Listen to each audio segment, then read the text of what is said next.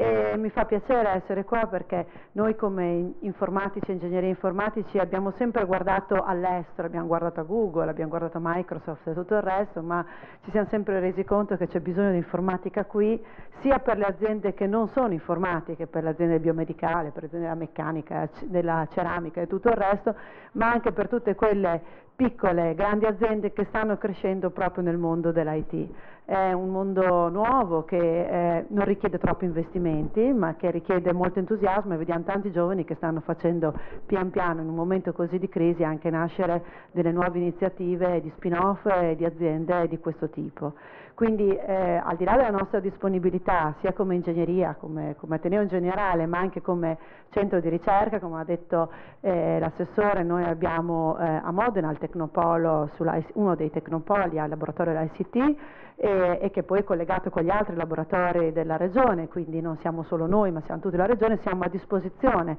per aziende del territorio per dare una mano su tutto questo.